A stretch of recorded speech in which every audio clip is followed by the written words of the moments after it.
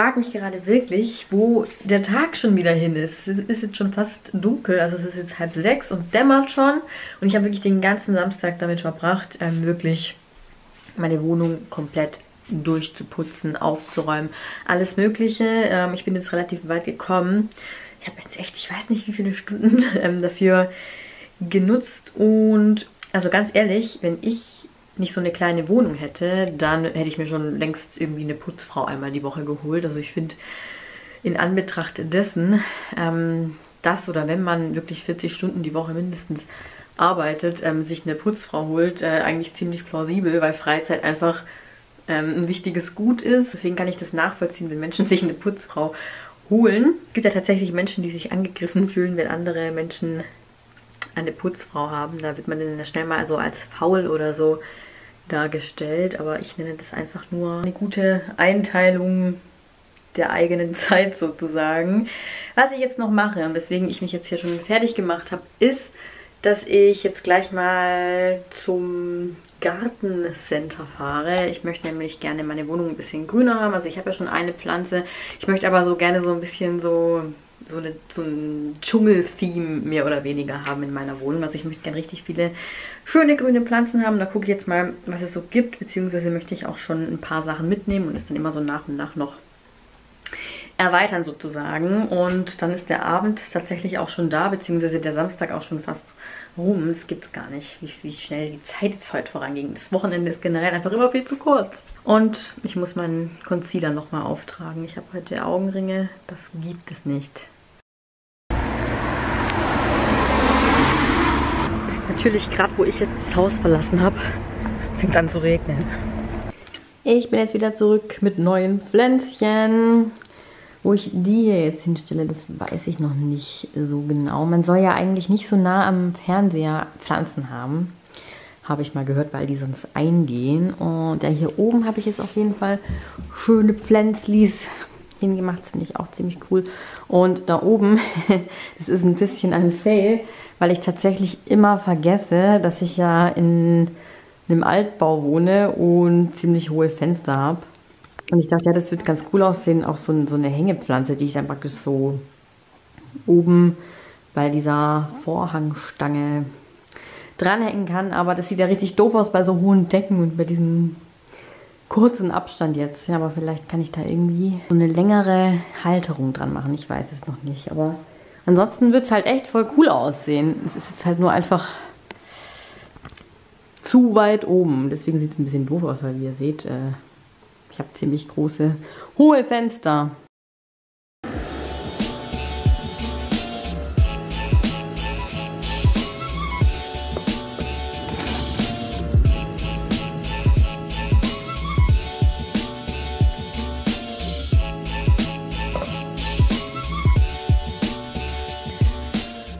Leute, ich liebe meine Pflänzchen so, so sehr.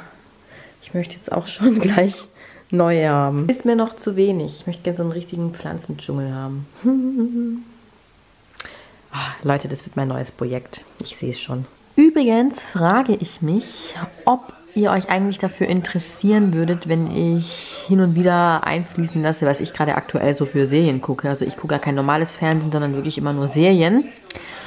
Also, dass ich jetzt einfach mal so erzähle, immer zwischendrin, was ich gerade so gucke, könnt ihr gerne auch mal an der Umfrage hier im Video teilnehmen oder mir einfach einen Kommentar schreiben. Aktuell binge ich hier jetzt übrigens The Walking Dead. Ich habe mich jetzt fertig geschminkt. Fürs Video wie immer ein bisschen stärker, weil meine Kamera halt wirklich immer sehr meine Farben im Gesicht verschluckt, nicht immer sehr blass aussehe. Aber ich drehe jetzt meinen Haul für euch und dann sehen wir uns später wieder. Der erste Teil meines Videos ist jetzt im Kasten und ich mache jetzt hier eine kleine Kaffeepause bzw. Matcha-Pause, weil ich heute einfach schon so viel Kaffee getrunken habe. Ich mache nämlich einen Matcha Latte. So, hier, die Milch schäumt schon. Und hier ist mein Matcha. Von ähm, Koro ist der. Da habe ich übrigens immer noch einen ähm, 5% Gutscheincode von Koro. Also könnt ihr gerne mal ähm, unten in die Videobeschreibung gucken. Da habe ich euch den reingepackt und dann nehme ich jetzt so ein bisschen So mit einer Hand ist echt nicht so leicht. Ja, das äh, ist schon fast zu viel. Mm, so, ein bisschen Wasser jetzt noch mit rein. So, und dann muss man das eigentlich mit so einem Matcha-Besen schaumig rühren. Den habe ich aber nicht, deswegen mache ich das einfach ganz fix mit einem Löffel. Und jetzt muss ich noch, noch warten, bis meine Kokosmilch aufgeschäumt ist. Die schäumt übrigens ganz gut auf. Also ich dachte, dass das nicht ganz so gut geht wie bei einer richtigen Milch, aber ähm, die schäumt eigentlich richtig gut auf. Also meine Kokosreismilch, die ich immer trinke. So, und jetzt habe ich ganz viel aufgeschäumte Milch. Das liebe ich ja total. Und rein da. Mmh. Lecker. Mmh. Ach, Leute, ich muss sagen, seit ich arbeite, liebe ich Sonntage. Das sind so meine liebsten Tage in der Woche tatsächlich, die Sonntage. Zu essen gibt es bei mir heute übrigens Pasta mit einer Schinken, Tomaten, Weißweinsoße und dazu noch Rucola und Parmesan. Das lasse ich mir jetzt schmecken.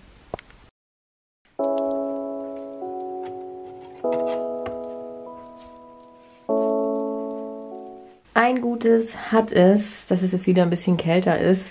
Ich kann meinen geliebten Mantel wieder anziehen.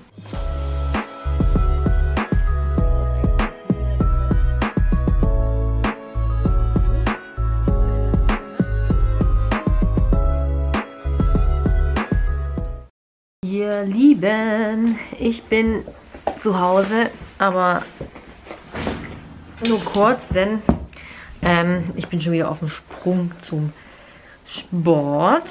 Und ja, ich hoffe, es ist euch nicht ähm, zu langweilig, wenn ich halt immer nur zur Arbeit und zum Sport gehe. Aber normale Leute mit einem normalen Alltag machen halt tatsächlich nicht so viele unterschiedliche Dinge. Genau so ist das. Und ähm, ja, aber wir haben dafür ein paar von euch geschrieben, dass sie es ganz cool finden, also dass sie meine Vlogs ganz cool finden, weil ich eben halt so einen gewöhnlichen Alltag habe, weil ich eben einfach so normal bin und halt nicht mh, mm, wie andere YouTuber von einem Event zum anderen tingle oder keine Ahnung, ständig nur Bilder poste von den Malediven. Aber ich muss aber ganz ehrlich sagen, ich finde so Videos vom Alltag, also wie zum Beispiel, keine Ahnung, putzt oder zur Arbeit geht und so weiter, sehr, sehr, sehr viel spannender als wirklich so Urlaubs-, Reisevlogs von Orten, die ich mir niemals im Leben leisten werden könne. Könne? Leisten werden könne? Leisten werden kann. Ähm, ja, weil es für mich halt eben einfach nicht greifbar ist, im Gegensatz zu, ja, normalen Dingen, sage ich jetzt mal.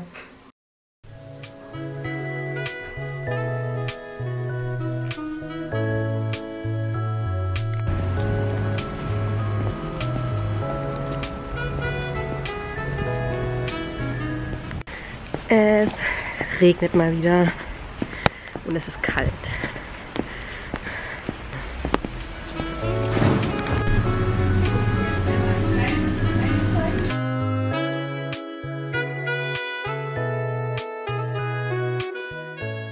Wir haben gesehen, dass heute bei uns in der Straße ein Film gedreht wird.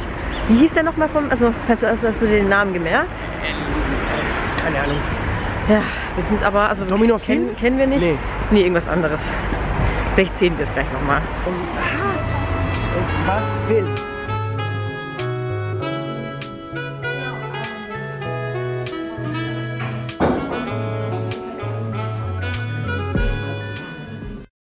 Ich habe mir übrigens mal wieder, wie so oft, eine Kartoffel-Lauchsuppe gemacht. Ist einfach super praktisch, wenn man wirklich nicht jeden Abend kochen will. Also ich mache mir halt wirklich immer so einen riesengroßen Topf und kann dann halt noch ein paar Tage von essen.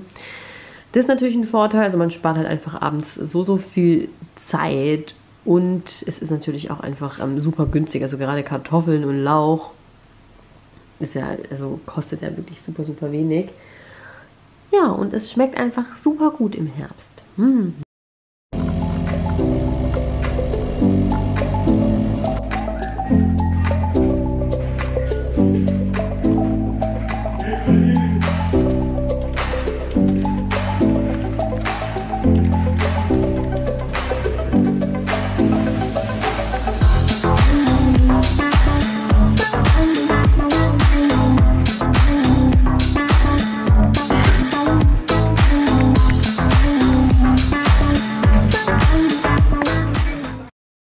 Hallo, ich mache mich jetzt gleich wieder auf den Weg zum Sport. Also heute kein Kurs oder so, sondern einfach mein normales Workout. So ein bisschen für eine Stunde ähm, Geräte. So wieder als Entlastung für den wahnsinnig vollgepackten Tag heute. Also der war wirklich heute wow. Aber wir haben jetzt immerhin schon Mitte der Woche und ja, jetzt noch ein bisschen auspowern und morgen ist dann auch schon Donnerstag. Und hier ist schon wieder alles voll mit Paketen, die ich diese Woche schon ähm, gekriegt habe.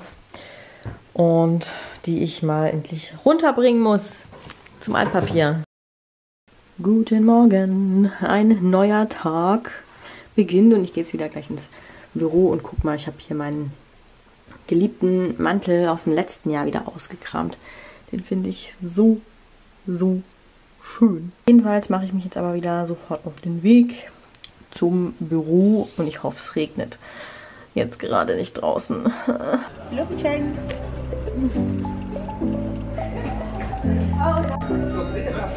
Den Getränk.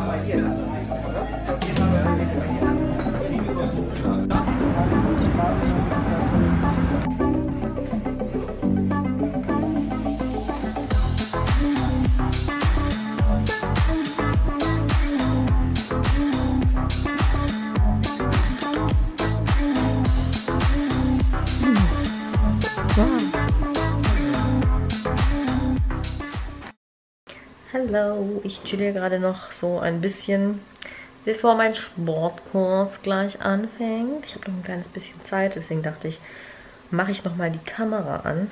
Und zwar habe ich heute so den Tag über ähm, mal wieder so über meinen Bauch nachgedacht. Ähm, auch darüber, dass der wirklich immer so aufgebläht ist, halt auch schon morgens, wenn ich aufstehe. Und dann dachte ich mal so, hm, vielleicht kann das ja auch an irgendwas anderem liegen als vielleicht nur Unverträglichkeiten. Klar, also Bauchweh wird bei mir mh, hm, bei bestimmten Lebensmitteln natürlich schlimmer, zum Beispiel bei Rucola und so weiter. Hm, und das ist aber bei vielen anderen Menschen ja auch so. Und ich dachte mir, vielleicht kann das aber auch einfach daran liegen, ähm, an Medikamenten zum Beispiel. Und das einzige Medikament, das ich dauerhaft einnehme, ist bei mir ähm, die östrogenfreie Pille, also mit ähm, Desogestrel. Das ist eine Mini-Pille, die ich ähm, durchnehme seit zwei Jahren. Also soll man auch nicht, dass ihr denkt, ich äh, nehme einfach so eine Pille permanent durch und das ist ja nicht gut und äh, soll man ja nicht, bla bla bla. Also bei der ähm, Desogestrel-Pille ist das so, dass man die durchnimmt. Und mir ist gestern aufgefallen, dass ich vergessen habe, mir ein neues Pillenrezept zu holen. Und meine Pille ist jetzt leer geworden. Und dann dachte ich mir aber so, eigentlich brauchst du gar keine Pille ja momentan. Also ich habe ja auch, ähm, wie ihr wisst, äh, keinen Partner. Das heißt, ich benutze, blöd gesagt, die Pille natürlich nicht. Und ähm, selbst wenn ich sozusagen keinen Partner habe, verhüte ich, wenn dann, ähm, natürlich dann auch anders. Also nicht nur mit Pille, die reicht da dann natürlich nicht aus. Man sollte ja nie ohne Kondom verhüten bei Leuten, bei denen man sich wirklich ähm, nicht 100% sicher ist, dass da alles in Ordnung ist. Ähm, so viel dazu und ähm, deswegen dachte ich mir, brauche ich die Pille halt auch nicht und werde mir dann jetzt ähm, kein neues Rezept holen und werde einfach mal ausprobieren, ähm, wie das mit meinem Bauch ist, wenn ich eben die Pille nicht mehr nehme, weil, und ähm, das ist eben der Grund, warum ich da auf diese Medikamentensache komme, äh, ich habe jetzt nochmal so den Beipackzettel von der Pille angeguckt, also die ich halt eben habe und da sind halt eben als häufige Nebenwirkung halt auch Magenprobleme tatsächlich. Generell so Bauchgeschichten. Und da wurde ich so ein bisschen hellhörig, dachte, aha, und ich meine, also wie gesagt, schaden kann es jetzt nicht, wenn ich sie jetzt mal ähm, absetze. Jedenfalls werde ich das jetzt einfach mal zusätzlich ausprobieren und beobachten. Wie gesagt, einen Termin beim Gastroenterologen habe ich ja sowieso. Aber man kann ja mal mehrere Dinge eben ausprobieren. Und da bin ich jetzt mal gespannt, wie sich das so bei mir auswirken wird. So, jetzt muss ich aber los zum Sport. Hauptsache, mein Kaffee ist schon fertig, wenn ich aus dem Bad komme. Was ein Service.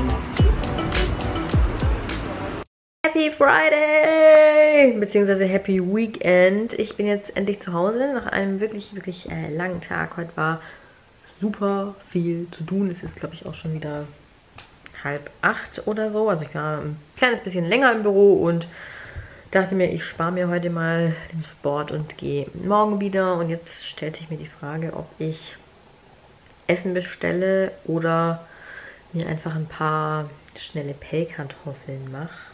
Ich glaube, es wird auf Pellkartoffeln rauslaufen, weil ich die eben einfach noch zu Hause habe und ich morgen mal ein bisschen nach neuen Sachen für meine Wohnung gucken will. Zum Beispiel einfach hier neue Kissen, beziehungsweise auch mal hier ein paar Kissenbezüge, weil das Sofa hier noch ein bisschen gemütlicher werden kann. Generell kann meine Wohnung noch ein bisschen gemütlicher werden und da werde ich mich morgen mal so ein kleines bisschen umgucken und da seid ihr ja auch auf jeden Fall wieder dabei, weil ich ja eigentlich tatsächlich seit Wochen wirklich jeden Tag vlogge. Also ich bin wirklich sehr, sehr stolz auf mich. Dann ist heute die neue Staffel Stranger Things rausgekommen. Habe ich schon sehr, sehr lange drauf gewartet. Ist eine mega gute Serie.